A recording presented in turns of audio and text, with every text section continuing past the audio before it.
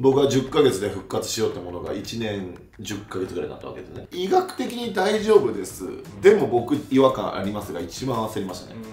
今回オフなので J リーガーの選手に対談ということで今日は林明に来てもらいました。よろしくお願いします。お願いしおます願いしますまあ秋は2023シーズン、はい。リベガルタ仙台でプレーするということで、はい。2022シーズンをもって FC 東京で契約満了という形ではい。新しい新天地に行くんだけど満了に至るまでのそのその前にまあちょっと大きな怪我っていうのがうん。一つ大きなターニングポイントになったのかなと思うんだけど、はい。えーあれは2020年はい。怪我の内容としては？えー、と前十字靭帯断裂と半月板水平断裂みたいな感じだったんですけど正直膝の大きなバコーンっていう怪我したことなかったんで、うん。何が起こったか分かんなかったですそれは試合中？試合の名古屋戦の前の11月14日だったんですけど、うん。15日に多分名古屋戦だったんですよね、う前の日のそのセットプレーのトレーニングとかやるじゃないですか、はいはい。あれで行きました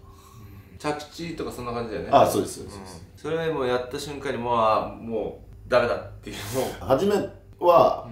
う、認めたくない自分もいるじゃないまあですか、まあわかる。大怪我じゃないとかね。はいはいはい、で明らかに着地の瞬間バチンと音鳴ったんですよ。うん。周りも聞いてるぐらいあ聞こえるぐらい。はい、バチンと音鳴って、で俺はもう最初もうバチンと音鳴ったことに対してだけ音鳴った音鳴ったみたいな感じだったんですよ。うん動けなかったんで、ん。ああもう普通じゃないなと、うん。明らかに普通じゃないなっていうのは感じたんですけど、とはいえうん。前十字は認めたくないじゃないですか、確か前十字って俺もう選手のもう一番こう最上級に高い怪我じゃないですか、これは認めたくないなっていうのが、まあそのやったやらないじゃなくて、うん。認めたくないのがあって、うん。とりあえず、まあ、そのなんか変な担架みたいなので運ばれて、医療室みたいなとこ行くわけですけど、まあドクターが膝のチェックします、うん。その時にはねちょっと大丈夫になってるんですよ。う動けるっていうか感触的にはそんなに。なんか違和感あるんですけど、うん。こういうチェックの動きしたらあこれ緩いな。あこれ大丈夫だな、うん。これ緩いなみたいなの確認するわけですよね、う前十字やってる時に、うん。サイドステップができないとうん。言われたんですよドクターから、うんうん普通は。もうサイドステップがもう踏めないと。うん。無理やりでもサイドステップ踏んでやろうと思って「やれますね」みたいな。で意外と本当に痛くなくてその時は「やれますねやれますね」だったんですよ。ただ明らかに違和感はあったんで、うん。しかも音も鳴ってますし、だから今回はうもうこの試合の方に帯同するのはもうなしにして、MRI を取りに行こうってなったんですね。で着替えて帰ります。車乗ってるんですよただ怪しい感じがしたんで家に車止めて、うん。その MRI を取る場所までタクシーで行ったんですよ。うん。それまでも全然まあふわふわはしてるけども、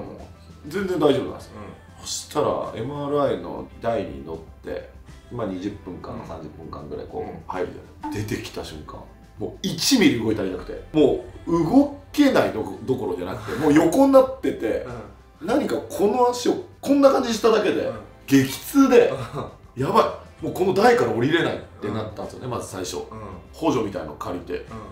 降ります。もう引きずろうともこの振動くるじゃないですか、うん。もうそれに耐えられないぐらいやばくて、うん。あこれは終わったわ。絶対100%前十字いってるわと思って。前十字じゃないにしてももう普通の怪我じゃないなっていうのは、もう手応えが分かったんで。まだその瞬間 MRI だけ取ってるだけなんで診断結果出ないわけですよ、うん。チームドクターのところにそのデータが送られてチームドクタドクターから「秋こんな感じだよ」みたいな、が来るんですけどそれをが来る前にとんでもないのはもらったなと、そんなに長くないし横断歩道があって、うん。青になったばっかのタイミングでうん。もう渡りたいから構えてたんですよ、うん帰りのタクシーのために、赤になっても渡りきれない、引うん。きずって引きずって引きずって痛すぎて、うん。赤になった時には真ん中なんですようん。でも真ん中に止まっていい場所なんかなくて。まあそうですもうちょっと待てと。でもう車もおい何やってんだよみたいな感じになってるじゃないですか。だから本当にあの時はあこれが大きな怪我なんだと、もう身に染みて感じて一発目でしたね。診断そこで、はい。まあ、診断結果として、はい。まあ、前十字靭帯。はいと半月板。まあ大体前十字っていうと早くても、えー今だと5ヶ月とか。でも半月板をやってる場合はもっとえー、と半月板を取っちゃった場合はうん。6ヶ月6ヶ月。7ヶ月ぐらいでやれるんですけど僕の場合縫ったんで、うん。そうするともうもう12ヶ月長くなる、うん。まあこれは賛否両論あって、うん。取った方がもうすっきりやれるよっていう人もいれば、い、や取るとうん。そのクッション材がなくなるから、膝にはもう問題抱えるからどっちがいいみたいな、でキーパーでこのクッション材なくなって戦ってる、もう終わるなと思うん。って、いやこれはさすがにあの切れないと。縫える人っていうのを探してうん。うんあの手術したわけなんですけれど、そこからの怪我の期間っていうのが？えー、10ヶ月って言われましたね10ヶ最月初。最初まあそれを含んでも6ヶ月復帰したいっていう希望があって、ただまあ8ヶ月から10ヶ月を見てうんやらないとダメだねみたいな話だったんですね、うんその年は何歳 ?33 サンスだよね、はい。まあ結構そこからのプロキャリアってそこで活躍するかどうかでこはいはいはうね選手生活いや本当にまさにそうですね。分岐点みたいなところあると思うんだけどそこでの大怪我っていうので受け入れがたかったと思うんだけどどうこうこの10ヶ月を過ごしてた？復活してもう一回サッカー選手としてやるっていう気持ちは、うん。まああったんですけど、うんうんまあ元の自分に戻ろうというよりは、うん。この怪我でさらなる学びを得てもう一回ちょっといい状況、うん。それさらなるいい状況に持っていきたいなみたいなのがあって、まあ怪我から帰ってきて、ういやあいつやっぱり動き悪くなったなとかって言われるの一番嫌じゃないですか、だから戻ってきてえ全然あんなでっかい怪我したのにこいつプレー良くないみたいな、になるような状況まで持っていきたいなっていうのがうん。正直思ってたところかなっていうか、10ヶ月はまああの予定通りな期間だったの？10ヶ月で一応現場復帰ができるような状況、うん。短く8ヶ月ぐらい戻りたいなっていうのが自分の中にあったんですけど、うん。リハビリ経過としては、まあ順調にいってたんですよね、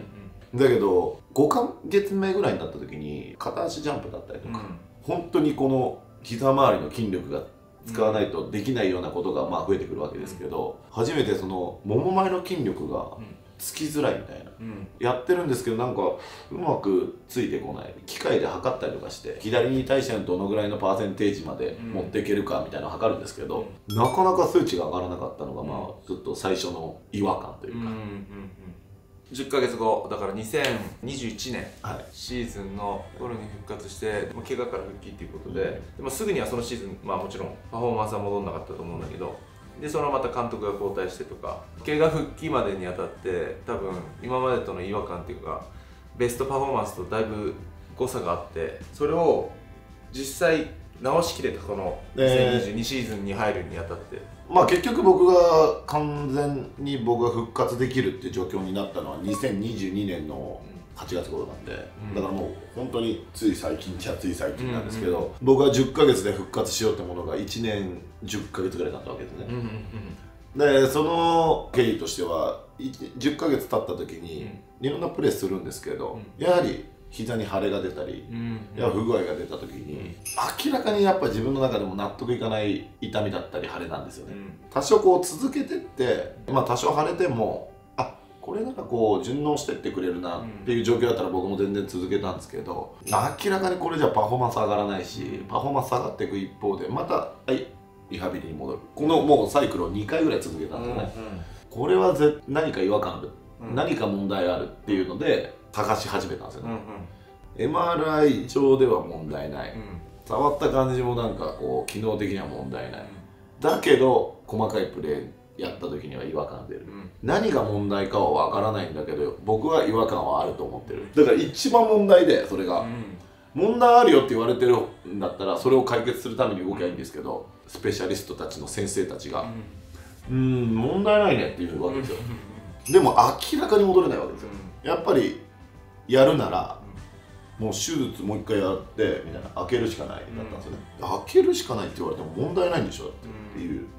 で問題ないのに開けてみるしかないだったんでまあやりたくないじゃないですか、そんな。お試しのお開きみたいなことできないじゃないですか、またえ何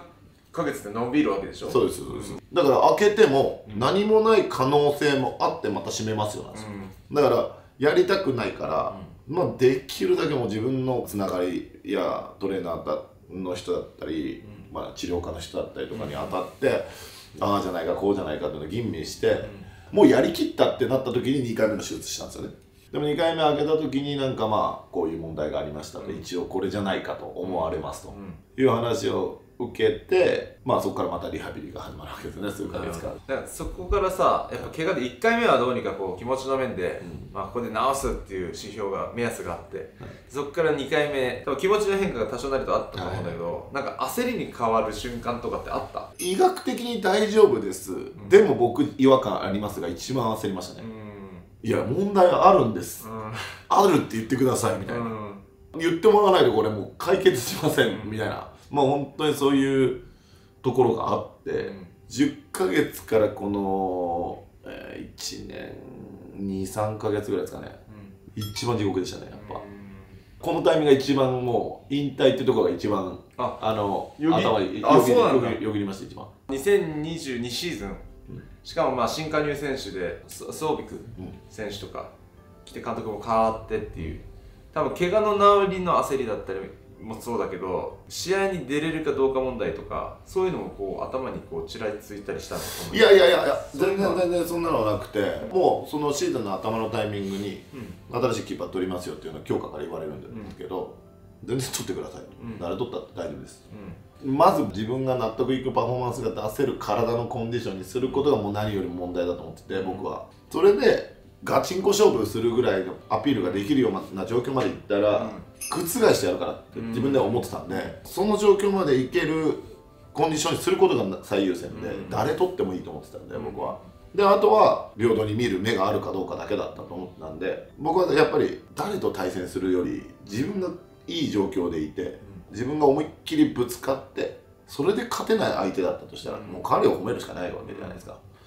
だからそこには焦りはないんですけど自分の描いてるコンディションまで持ってこれるのこれ、ってなる期間があったんですよ。にうんうん。それが一番あれでしたね。考えさせられたというか、夏場？はい。に完全復帰はするんだけどはい、はいそこでもまだそのトップコンディションじゃないわけじゃないはい？はい。トップコンディションにこう戻るまでってどんくらいだった？まあもう最初に復帰したタイミングで自分の感覚と現場の雰囲気とこうスピード感とのラグがあるのはもう確実にもうあるもんだなって思って復帰してるんで、最初の2ヶ月ぐらいはもうそこの調整のみ体の自分のその順応うんうん。とか、そういうのも含めて最初の2ヶ月間はもうこれそれのみのために行動しようと思ってたんでそこが調整期間だったかなと思いますね、でそれでまあ完全復活したら8月だから。だからもう本当に11月で終わりだったねそうだよね。10月から勝負だったんです僕は。でそのタイミングに、うまあ、チームもやっぱりね、うん。あのもう終盤期の終盤期なんで、いきなり復活してきてちょっと調子いいとか、うん。ちょっとね練習やったら普通にやれんじゃんみたいになっても変えないですよ、ん。ま あそれはね。そこでさあの多分今回満了って初でしょ。はい初めてです FC 東京は5年か6年間か。6年です。はい。6年間いて、まあ、キャリア的にもいい時間を築いたと思うんだけど実際に満了っていうのはずっとちらついてた？まあもうもちろんちらついてたというよりは、もうプロになった時から、今日契約して次の日練習してで大怪我したら交通事故になったら、うん。もう終わるってことはもう頭に入れた上でプロになってるんで。ああだはい。からはどのタイミングで終わっても後悔はない終わり方をしたいっていうのがもうスタートからあるんで満了ああそうかぐらいなんです。いあそんな感じだったんだ。はい、まあこれに対してうん他のチームが僕に対してどう評価をしてくれるのかどうオファーをしてくれるのか、うまあそれともオファーしてくれないのか、まあ、それだけなので僕はなんかプロという世界がすがる場所じゃないなと思ってて、自分がすがってすがってすがって居続ける場所ではなくて、輝いてるから相手のチームが欲しいって言ってうん。なれる、そういう存在がプロじゃないですか、だから狭き門のはずなんですよ。それをなんかすがれる場所にしちゃダメだなと思ってやってるのが僕の考えなんですよね、なるほど。はい、そうやってこうやって2年間僕が結果としてね、うんあの仕事ができなかった状況を踏まえるとチームが満了にするのは必然だなというふうに思うし、まあ僕の年代になればそれ若い選手たちほど給料が安いわけじゃないので、まあそれはチームにとってはまあそういう決断にはなるのかなっていうのが現実的な問題ですよね。満了っていうのはさ紙でこうポンってお渡されるのか、はあの強化部とかに呼ばれてそうなのか、まあ、事務所はい。通達で来るのかとか強化部に呼ばれて、来季の構想には入ってません、うん、でそれも0円提示ってことゼロとも書いてなくてもう真っ白真っ白の空欄になってます。そこ来年契約ある人は多分ここに金額が載ってたりする中でここが空欄になってるから、うん、ちはあの契約しましない形でいますという話になって、うん、はい。まあそりゃそうだよなと、うん、俺が教官部でも俺のこと切りますよ。ただ一つ思い残すことがあるとすれば、うん、やっぱりシーズン終盤期になって、やっぱ自分のパフォーマンスっていうのを出せるようになってきたんで、まだやりたいなどころか、やれるなっていう感覚が、やっぱ自分の中で手応えとしてあったんで、まあ満了は受け入れるし、満了は当たり前だと思ってるけども、継続してやりたいなっていうのはありました、その東京でというよりはプロとして、はい、最終節の前の日に、まあ、満了、はい、っていう通知を出したメディア向けに、はいはい、あれって今までそういう形ないじゃない、はいはい、で秋的にはどういう意図があってそういう？まあ強化の方からも出し方っていうのはどうしますかっていう話はするわけですよね。満了になったってことを通達するかどうかっていうのは。多くの場合はやっぱりこう満了って見え方が悪いというか、うん、あここいつクビになった選手だねってなっちゃうんで、やっぱ選手としてはやっぱりあんまり満了って出したくないような本音なんですよね、でも満了になった時に起こるのは満了って出さないで次のチームのオファーが、まあ、来た時に、まあ、移籍という形になりそういう見え方になることはあるんですけど、うん、僕が今回満了を通知したのはやっぱりこの2年間のそのファンの人への挨拶も含めて、こう6年間こう在籍させてもらったりしたことも含めこの2年間こう選手でやれなかった時にもやっぱ本当支えてもらったメッセージとかコメントもあったので、その弱ってる時に響いた言葉みたいなのがめちゃくちゃあって、これもしさっきみたいに満了を出さないで来年どうなるのってファンの人は分かんない状況で僕は移籍になるとしたら直接コメントを言えるタイミングってなくなるんですよね。FC 東京のホームページとかに、林明宏何々のチームに移籍することになりました。6年間ありがとうございましたって文化こう載せられて、直接のこう感謝を伝える場面っていうのがないなと思ったんですよね、うん、で僕もやっぱりちょっとこの2年間特殊だったからもう去るのは自分でも分かってる中で、うん、挨拶しないで去るのはもうないなっていうのが、もうその見え方どうのこうのが優先順位的にはやっぱり2番の方で、挨拶できないのはないなっていうのが